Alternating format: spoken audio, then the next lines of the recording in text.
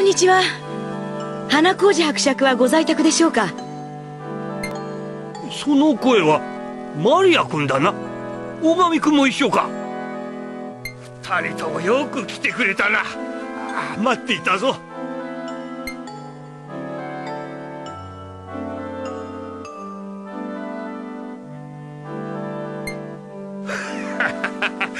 やはり花組の隊長は大神君でないとな。遠いところよく来てくれた。さあ中へ入ってくれたまえ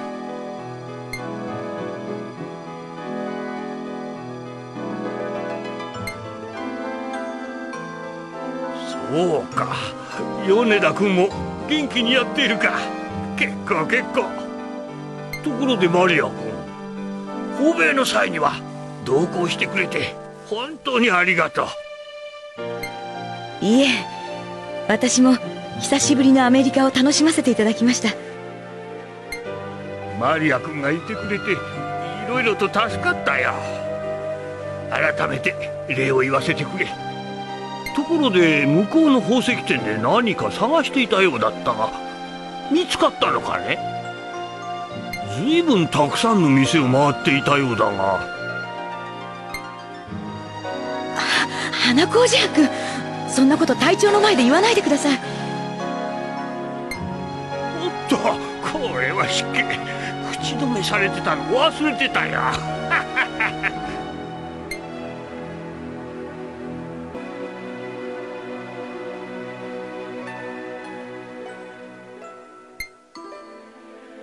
いいえ何でもありません。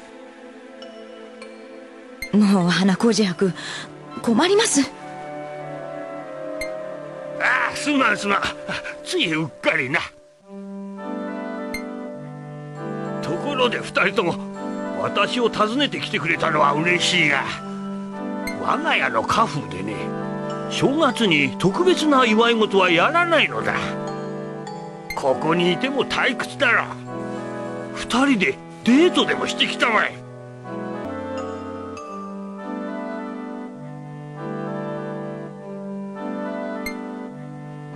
まあせっかくのお正月休みですからたまにはデート気分もいいかもしれませんね。それじゃ二人でゆっくり楽しんできたまえ。はい。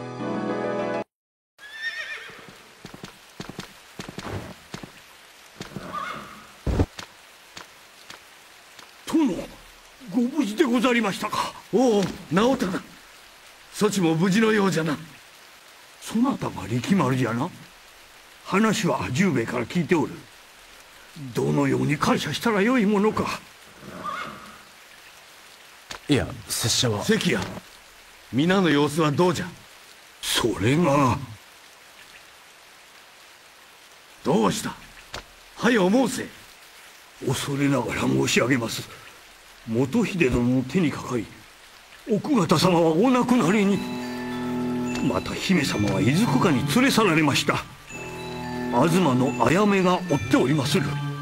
なんじゃと。叔父上がそこまで。我らが至らぬばかりに。そなたたちのせいではない。全て全てはわしの。殿内乱に乗じ隣国の戸田義貞が挙兵おそらくは元秀殿と通じていたものと思われます。るご決断を。何？戸田義貞。奴が裏で糸を引いていたのか。卑劣な真似を。元秀ともども戸田が首拙者がもらい受けてまいりまする。おい穂村呼んだか？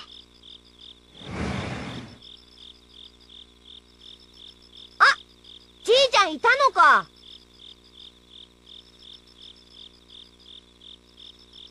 うん便所へ行っとった。は？おや？その坊やは？あこいつ学校の連れだよ。おおそうかそうか。しかし珍しいな。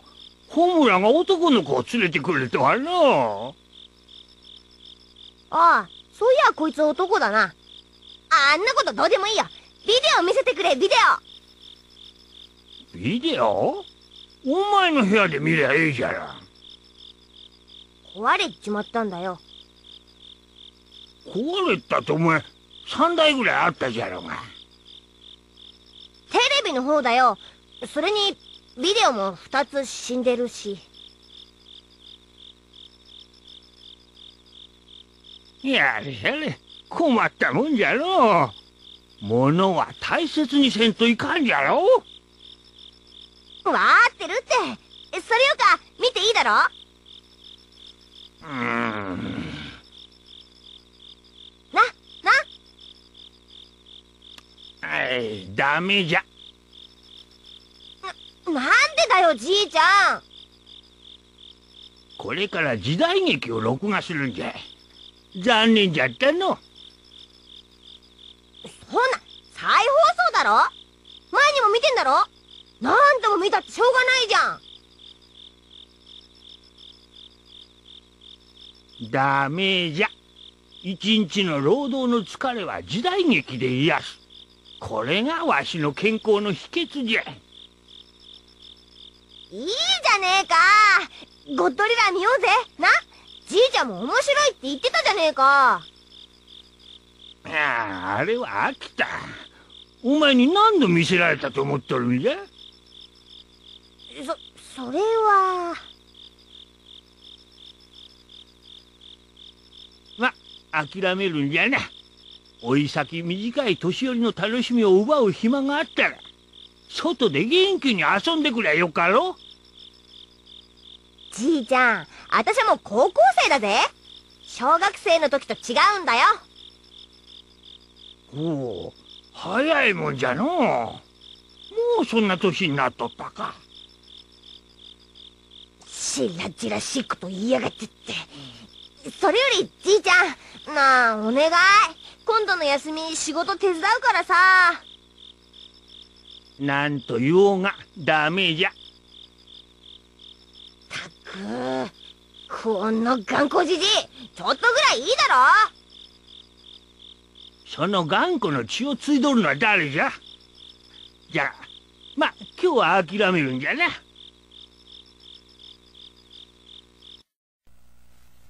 わざとね。わざと水木にこんなへんてこなもの食べさせるのね。お嬢様、お皿をお下げいたしますか？いい。全部食べる。ご立派でございます。お嬢様の勇姿。この伊藤が最後まで見届けさせていただきます。ギ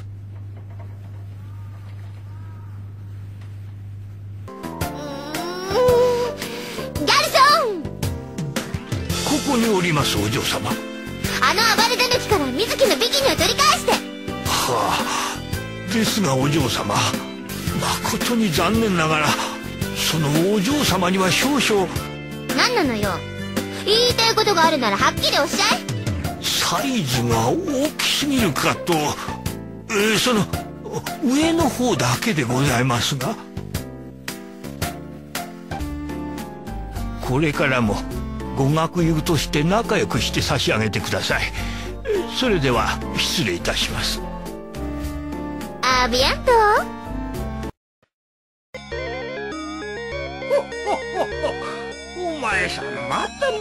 外に出たのじゃな困ったやつじゃの。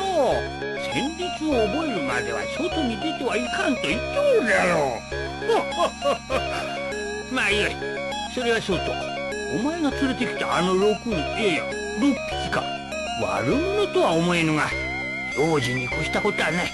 お前の家から一歩も外に出してはならんぞ。いいな。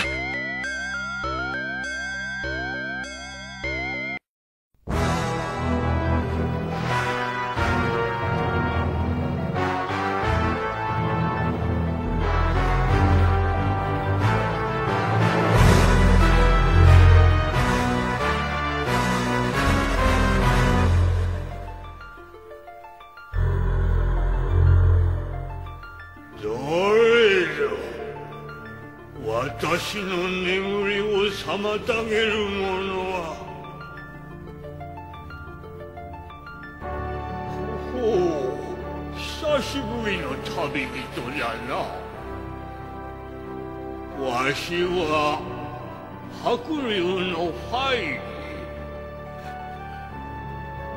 わしに何の用かな人間の子らよ。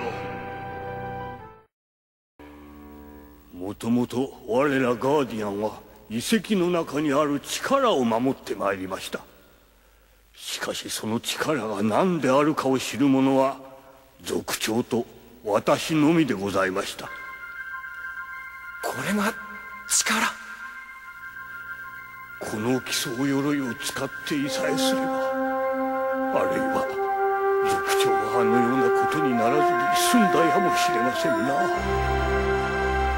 いやすみません。親父はそれほどまでにこの力を恐れたということか。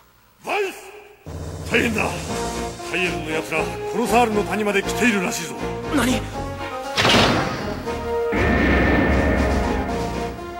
俺はこのクメスを。遺跡を守る。見ていてくれよ。親父。とある研究所の一室。音楽スタジオ風の部屋からこの話は始まる。やっと準備が終わったわい。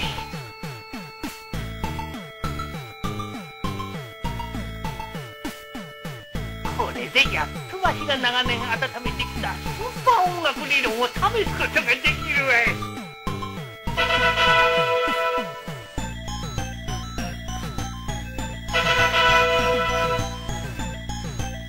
素晴らしい。成功じゃ。もう一回。スイッチオン。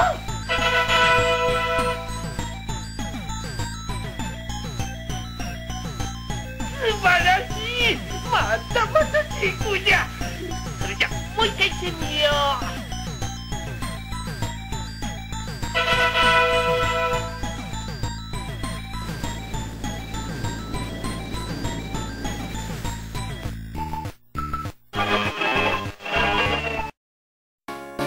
紹介しよう。こちらは惑星カザーリン。うお願いします。姫をサニア姫をお救いください。あはああの急にそう言われても。ユウこちらは惑星カザーリン王室の家老バトンズ氏取り乱しまして大変失礼いたしました。ユウさんのご活躍は常々耳にさせていただいておりますお願いいたします。どうか誘拐された姫君をお救いください。誘拐？うん。ユウ惑星カザーリンは知っているな。はい。確か昨年トピアニスの大鉱脈が発見されて話題になった星ですよね。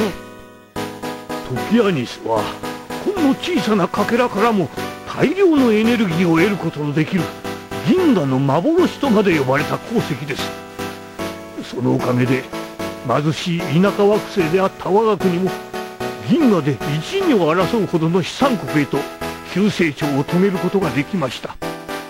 その資産を狙った身代金目的の誘拐ってわけですか。はあ初めは私どももそう考えたのですが。違うんですか。王女は6日前の深夜王宮の中から忽然と姿を消してしまったらしい。しかもハリバンの兵士をはじめ誰一人気づかれることなく。本人の意思でという可能性は？はあ実はこれが姫の部屋に。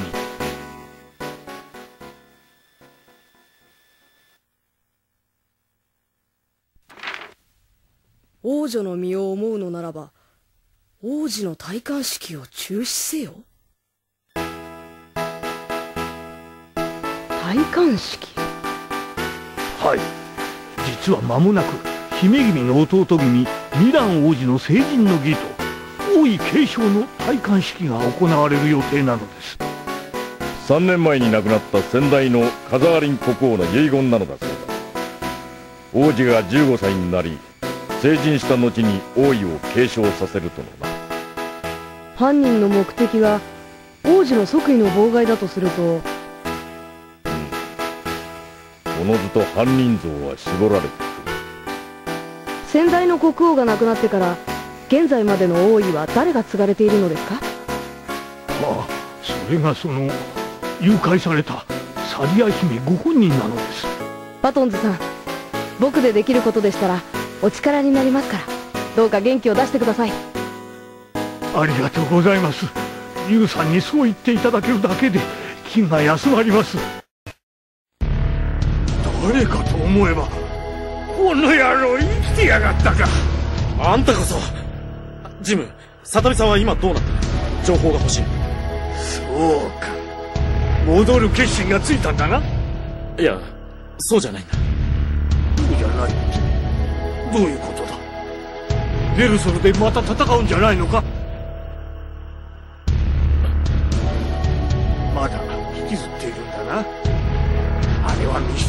の事故だ。忘れろ。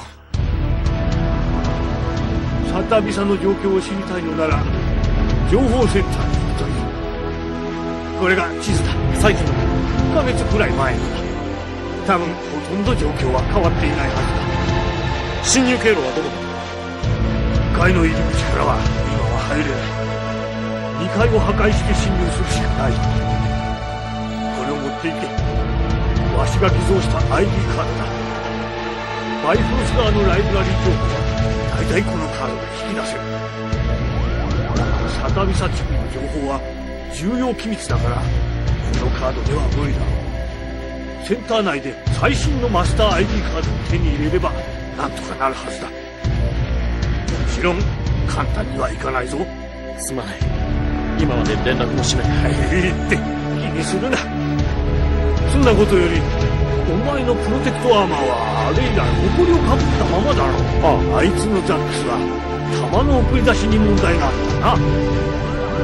部品の調達には時間が必要だ。今は我慢するしかない。分かった。マサオなんだ？いや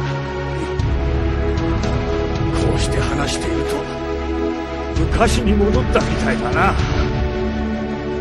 ジム第11中隊ジェシカ・ダークヒル注意です。よく来た。これはカラの負傷者だ。知っているだろうがニューバビロンは今危機にある。この調子でケシュラーンの攻撃が続けば我々はこの基地を守りきれない。この基地では市民が日常生活を営んでいるというのにカラの負傷者司令官続きを周囲に使命を伝えてくれ。調査ご苦労。第五中隊の力も借りてお前の隊が市民や科学者をこの基地から避難させるのだ。みんなを無事にマンハッタンまで送り届けろ。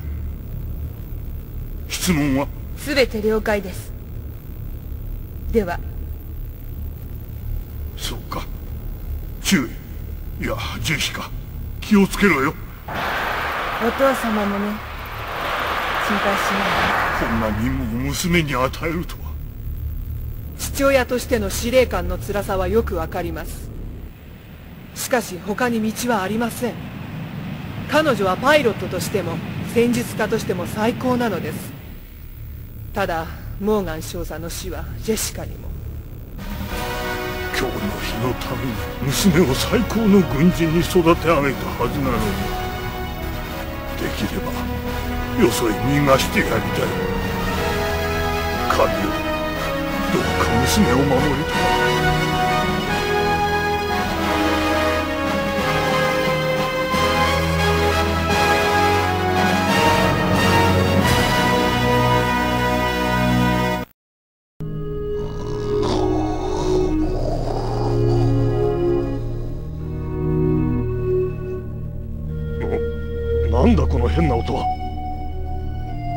トンの機関室からだ。な誰かいるぞ。誰だ。そんなところで寝てるのは。うん。あ誰か。私のこと呼んだかな。勝手に船に乗ってる男。お前は誰だ。ああマイクはこれか。私はハリー・オールドフィールドだ。グランテック社から研究を依頼されている考古学者だよ。そんな。オールドフィールド博士あなたがどうしてそんなところにいるんです？いつ潜り込んだんですか？例の石を一刻も早くこの目で見ようと連絡シャトルに乗せてもらってきたんだ。だがついうっかり部屋を間違えてしまってね。あのお言葉ですが博士。一体どうしたら部屋のドアと潜水艇のハッチを間違えられるんです？困るんですよ本当に。そんなことされると。君らの話は全部聞かせてもらったよ。あんな大切な石を落としてしまうなんて信じられんな今度はちゃんと持って帰りますからそれまでベースで待っててください。いや断固ついていくぞ。一人だけじゃ心配だからな。博士一緒に行くと言っても潜水艇の中じゃ何もすることはありませんよ。そんなことはないぞ。これでも私は遺跡発掘にかけてはプロだ私が同行した方が何かを発見する可能性が高いはずなんだ。それとも君は私の実力が信じられないっていうのかな？とんでもない。そこまでおっしゃるんでしたら博士に海底の調査をお任せしますよ。ただし第一の目的はあくまでも回収物を持ち帰ることで。調査のための特別な時間はありませんからね。それは承知している。あまり楽観はできないんだがま何か収穫が得られることを期待しててくれ。わかりましたよ。それじゃ幸運を祈ります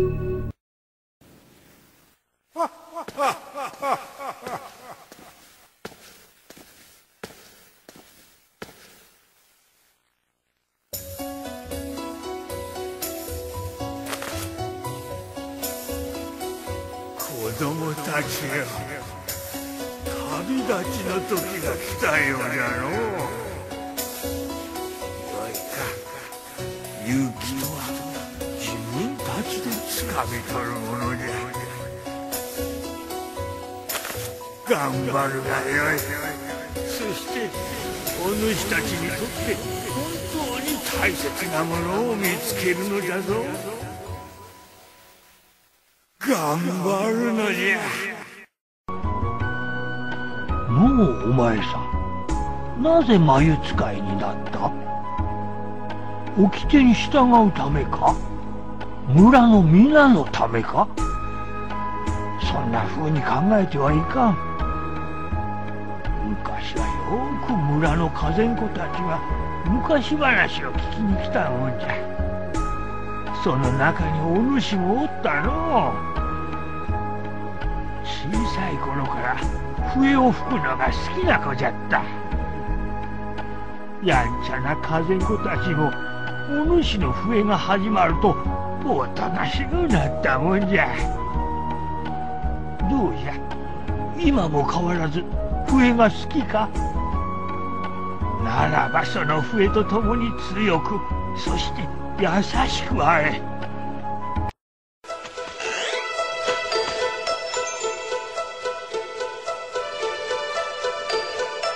おお武蔵殿お目覚めになりましたか。ああんたはヒゲじい。と誰だっけ？ほほん私使用人頭のレバンと申すざますそれはそうとおいらはなんでこんなとこに？あいの忌まわしきルコアル帝国のメカを倒した後その場で寝ておられたのを発見いたしましてこのお部屋に運び込んだのでございますですじゃ思い出したぜ！あのマントの筋肉バカが姫を連れ去りやがったんだ！畜生ルコアル帝国め！おいヒゲじやっぱオイラは姫を助けねえと元の世界に戻れねえのか？もちろんですじゃ。しかし奴らもこのままおとなしく引き下がってるはずもないですじゃ。必ずやそのレイガンドを奪いに現れるはずですじゃ。レイガンドってそんなにすごいもんなのか？それはもうその昔伝説の剣豪武蔵が世界を滅亡の危機に陥れた闇の魔人を封じるのに使ったと言われておるのが光の剣レイガンドなのですじゃ。それにこの世に5つあると言われる五輪の書地水火風そして空の巻。それら全てを集めしときその計り知れぬパワーを我が物にできるというわけですじゃ。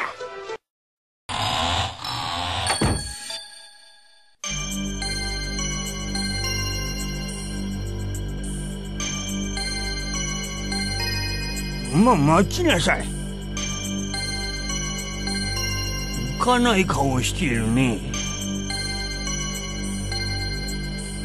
どんなひどい状況でもそれを楽しむ余裕が必要だよ。物事を冷静な目で見つめ常に自分の利益を探すことが大切だ。わしは今までそうやって大きな財を築いてきた。わしは老い先短い。死ぬことは怖くないよ。ただその前に最高の快楽を味わってみたいと思っているのだよ。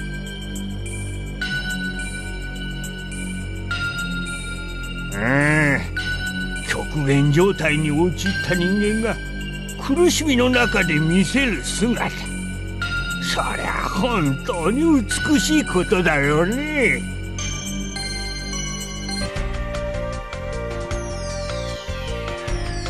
おやおや覗きはよくないね。離れるとは聞き捨てならない。これは同意の上だからね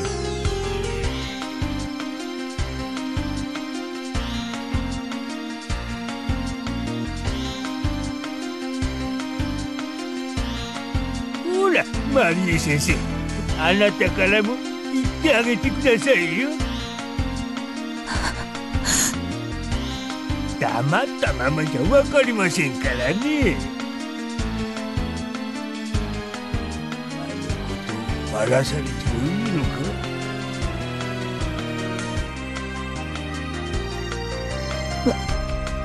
私は。同意の上ですよね。席を外してくれないかしら。お願い。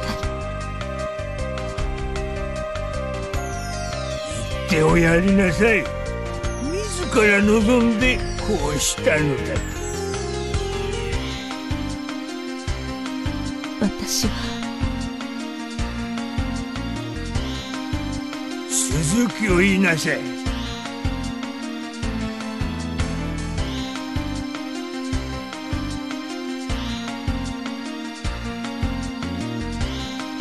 ま今のところは退散しておくか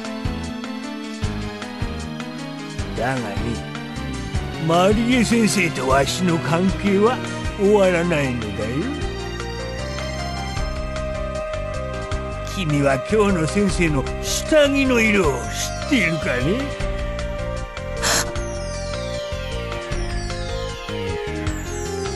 わしは知らないよ。でももっと大切なことを知っている。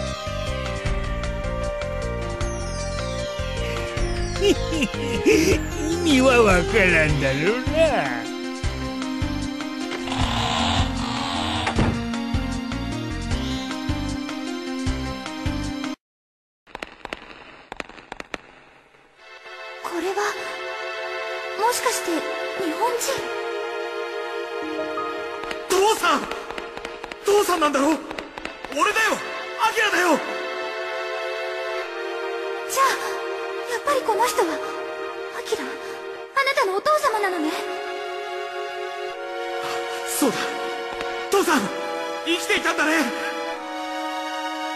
なんとか言ってくれよ父さん。なんだこれは。これは私の実態ではない。だが驚かずに話を聞いてほしい。あなたの目の前にいるのは過去の私の記録をとどめた幻なのだ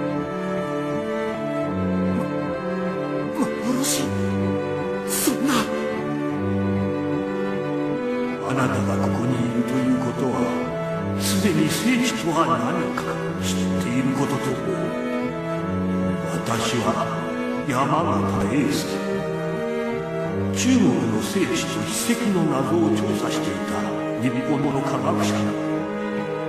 私は調査の結果聖地の謎を解明する鍵は南極にあると考え調査隊に参加したそしてこの地を見つけたのだ。がすぐに怪物たちに囚われてしまったそして怪しげな機械にかけられたおそらく脳から直接情報を収集したのだろう。その後は独房のような場所に監禁され逃げ出すことができなかった。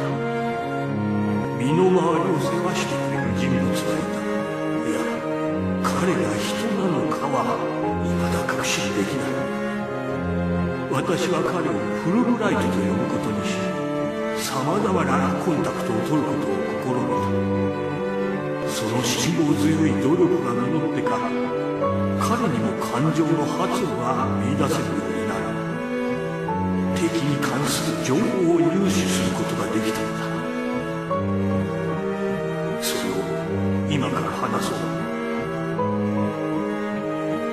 彼らは自分たちの守っていた対象が現人類に滅ぼされたと考えているそして人類の所業戦争や環境破壊は彼らの規律に反する行為らしい。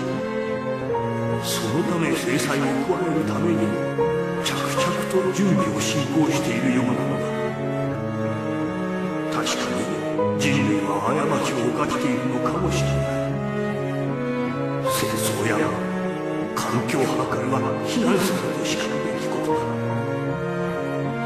だだがだからといって人類が滅ぼされるのを黙って見過ごすわけにはいかない。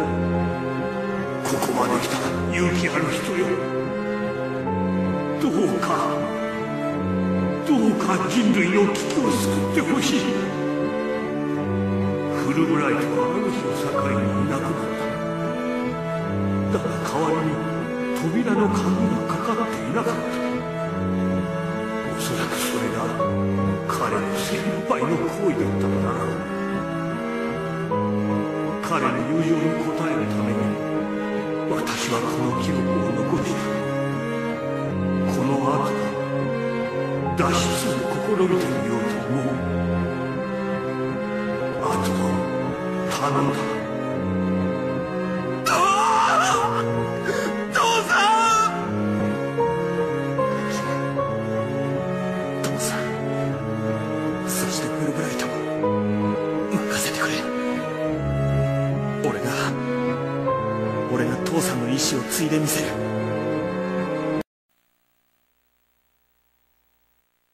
田辺さんそっちじゃありませんよ。あこ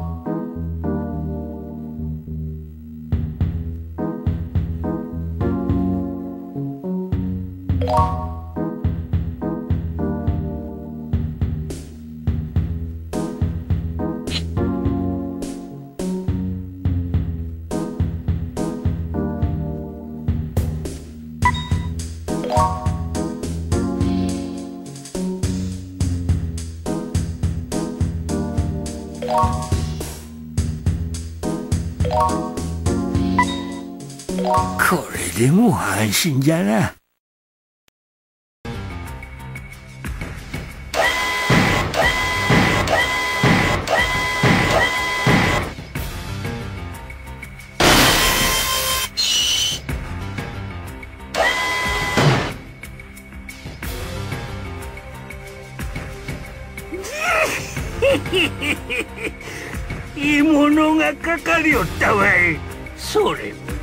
そうな奴らばっかりじゃ。ボイド・カーサスか。いかにもわしはかの有名なボイド・カーサスの天才サイエンティスト。ヒスター・ガーブ様じゃ。光栄に思うがいいわい。このわしの実験材料にしてもらえるんじゃからのなんだと貴様。おこれはこれは元気の良さそうな。まずはお前から実験材料になってもらおうかの。う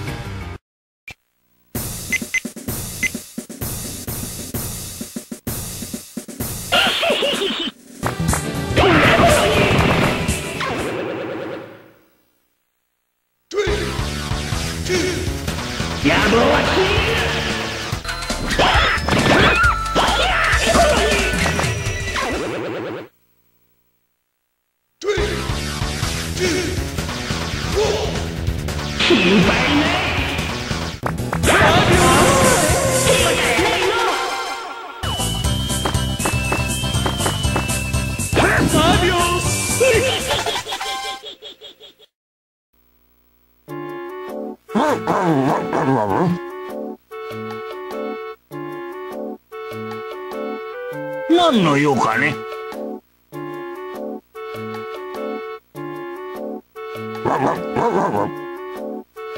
行ってみたまえ。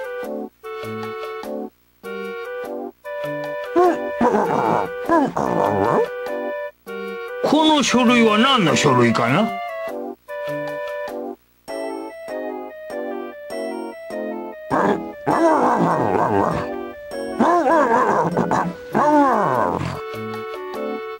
それは生徒会の管轄だ。校長だからといって勝手なことは。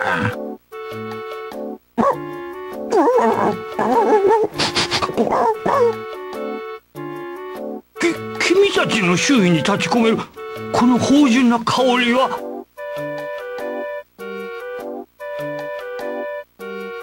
ああもしかしてこのコロッケパンの香りでしょうか？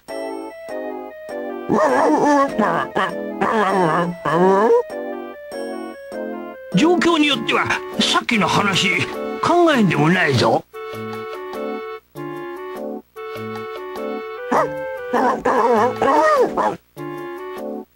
さあコロッケパンをよこしなさい。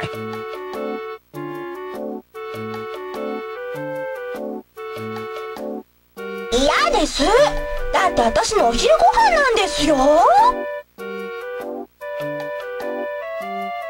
って購買へ行ってもいつもすぐに売り切れちゃってめったに手に入らないんですよ。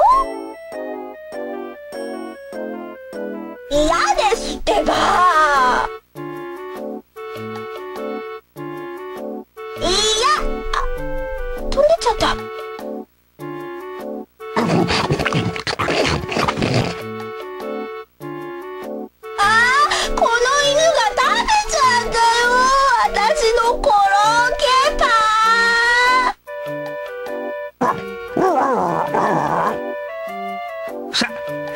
出しなさい。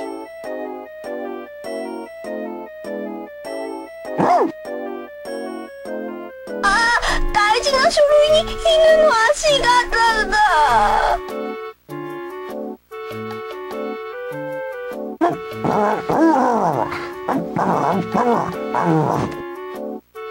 これで女子野球同好会は部活動として認可された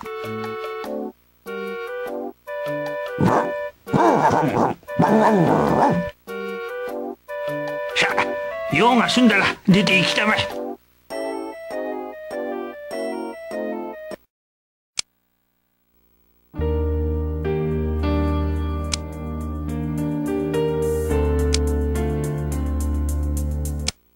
何の用があるのだ？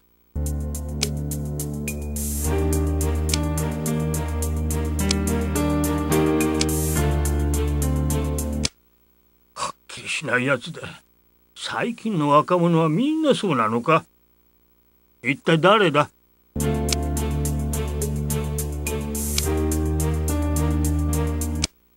なるほど。その好奇心だけは認めてあげなくてはならないみたいだな。マーメイド伝説は知っているか？うん。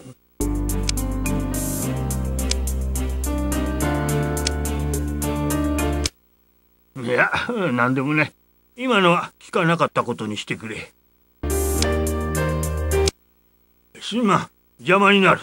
そろそろ帰ってくれないか。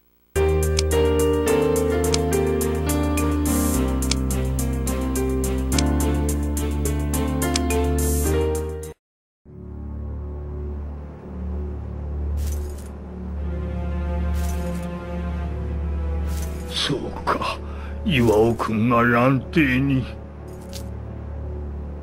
運命とはなんとむごいのだ。教えてください。蘭亭はなぜ親父を？君と同じだ。復讐だ。復讐？蘭亭は父である張孫明の仇を討ったのだ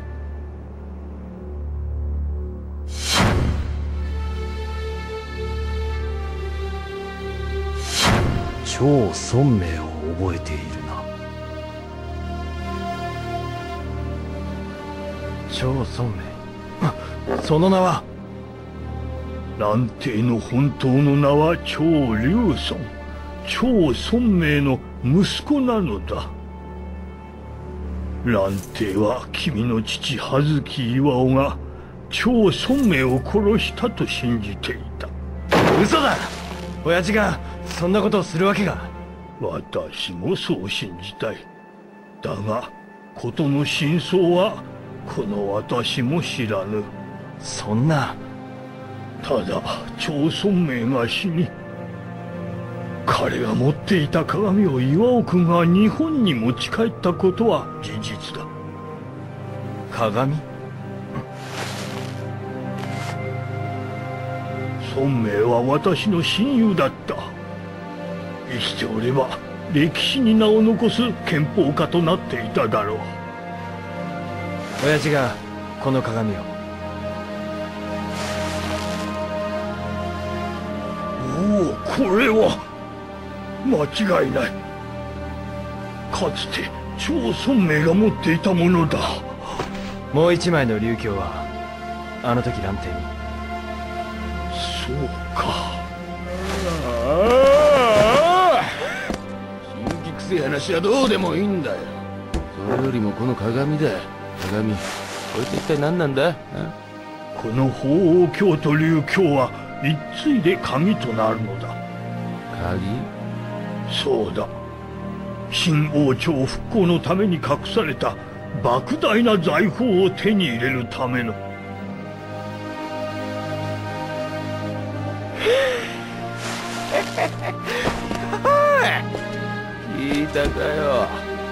お宝だぜ。言った通りだろ。俺様の勘に狂いはねえんだ。で。どうすりゃお宝にやりつけんだ。すまぬが明かりを消してろうそくをつけてくれぬか。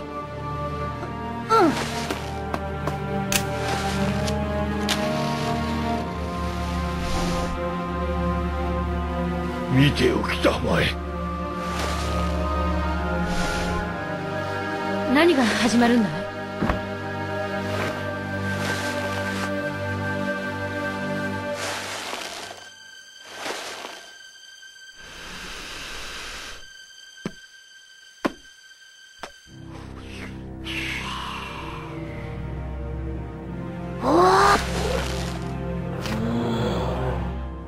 これはこの七つの光が財宝のありかを示しているそれは一体どこなんだこれだけではわからん。何んだと？流鏡の映し出す光と重ねることで初めて解き明かされるのだ。じゃあ宝鏡だけじゃ何もわからねえってことか。一つだけ手がかりがある。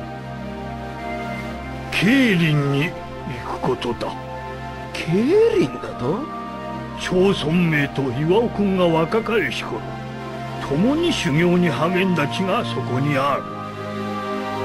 親父が競輪の八花さこの鏡の原石である唐河緑石の唯一の産地だ。そこには鏡を作った者の子孫が残っている。きっと何かわかるはずだ。八花荘蘭亭もそこへ向かった。蘭亭が競輪に